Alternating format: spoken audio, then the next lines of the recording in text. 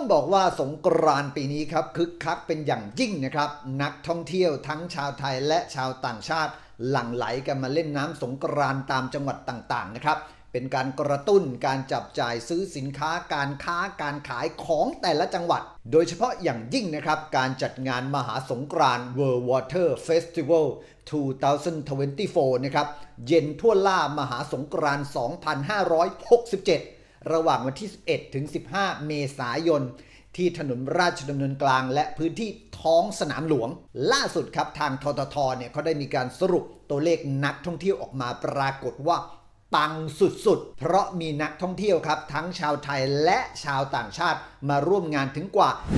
780,000 คน ยอดขายร้านค้าต่างๆ เฉพาะภายในงานกว่า 9 ล้าน3แสนบาท และสร้างเม็ดเงินหมุนเวียนในระบบเศรษฐกิจนะครับ เพราะนักท่องเที่ยวมาก็ต้องมีการพักโรงแรม มีค่าขนส่ง มีค่าซื้อของฝากต่างๆนะครับ กว่า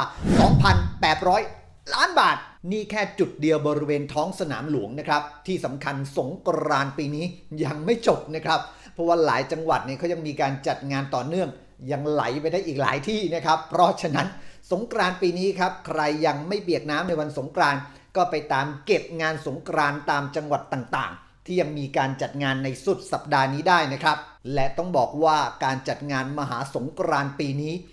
ปังสุดๆจริง ๆ ครับ